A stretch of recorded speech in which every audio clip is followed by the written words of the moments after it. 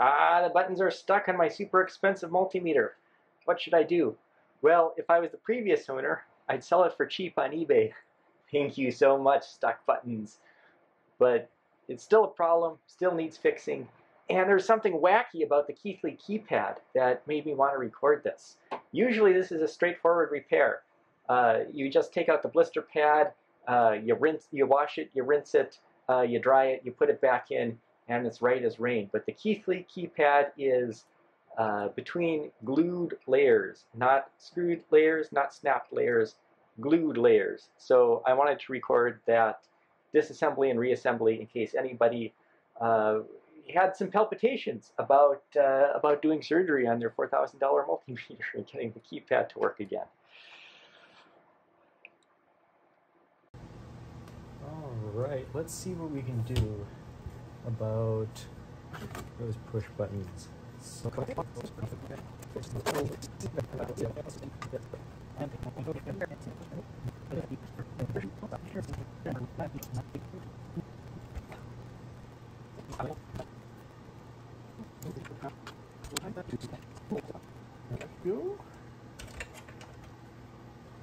Lots of a, well, they look like they're at least, least gold plated. That's always a good sign. Hopefully they, uh, they also spring for the, what is it, tellurium copper that has the, um, the low thermal EMF. Yeah, I'm sure they did their homework. All right, now have to get into the screen.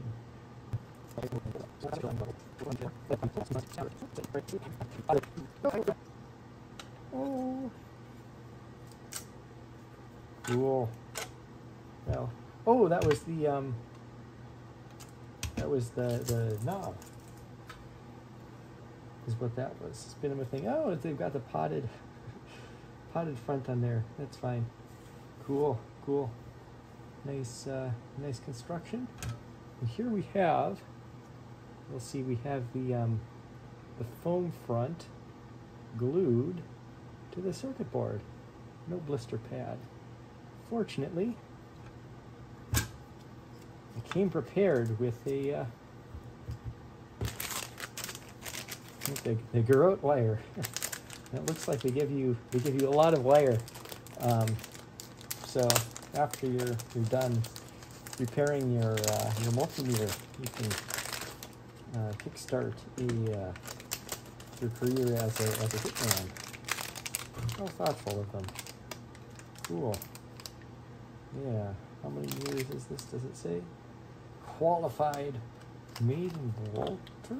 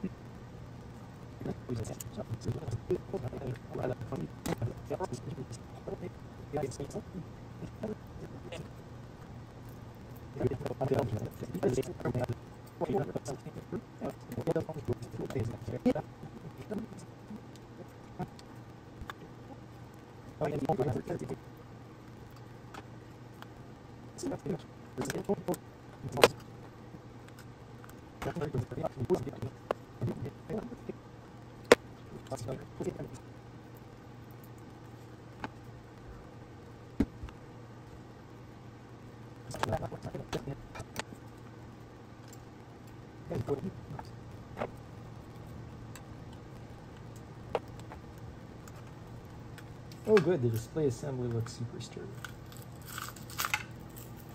Woo! There we go. There it is. The display assembly. Brutal, brutal, all that glue. Yeah. And now to clean it. All right, now that I've got it apart, uh, I can walk through the, the layers here. So the frontmost layer is uh, not actually plastic. It's actually, it's, it's completely rubber. And so I thought it was foam earlier, but I think I was just looking at the side and the side was gray. I thought gray, you know, it's foam, but no, no, the, the whole thing is rubber. And so that's actually good news because it means that when you're peeling it off, um, since it is solid rubber, it's, you know, it's got a bit more sturdiness to it and you can peel pretty aggressively and, uh, um, and, and swipe at the glue with an X-Acto knife. Now, originally I thought that I was going to be able to get through the glue using um, the little cell phone, uh, uh, cell phone adhesive slicer thing, the, the, the grout wire. Um, that that didn't work. That was uh, that was trash um, because there were uh, there was some little contact posts that ground the display here, and those need to those poke up, um, and then also there are some rubber, um, little rubber. Let's see if I can, get this into the, the fillet. Little yeah, little rubber uh, poke throughs, alignment registration things that um, uh, that that register the display to the uh, to the circuit board here.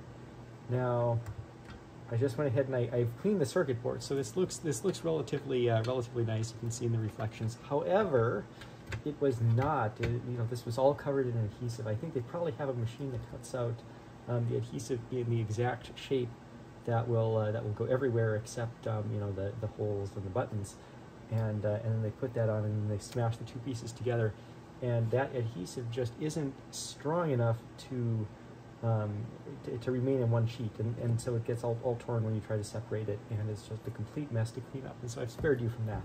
Um, but uh, it is a complete mess, and this is a, a, really laborious process. And if I had to do it again, I might not. I might just live with the, the buttons being a little bit uh, uh, a little bit sticky.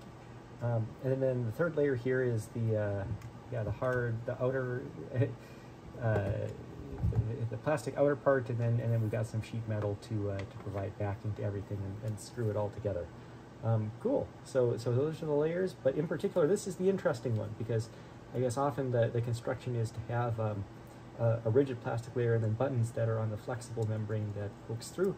Um, that's really nice. I love that construction because you can just take the uh, take the buttons, uh, the button membrane out. You can you know throw it to the dishwasher or something and clean it right up. Here, that's uh, that's not the case. because The whole thing is one gigantic rubber and uh, separating this from the circuit board it is glued to um, is just a huge pain in the butt. In any case, that's um, that's the construction, and hopefully that information is helpful if anybody else uh, wants to do something similar. All right, I made a printout on my vinyl cutter. This is just a double-sided adhesive pad that's been been cut out with the the knife uh, the knife cutter on the vinyl cutter and um, I'll put the a PDF in the uh, in the description below. All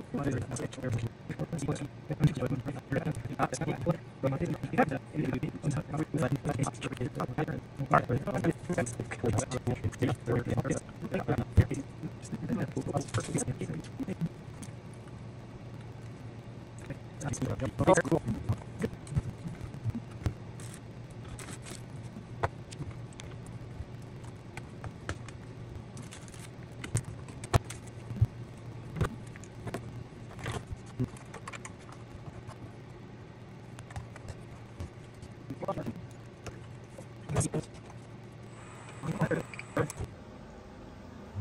how'd I do? Touchscreen still works?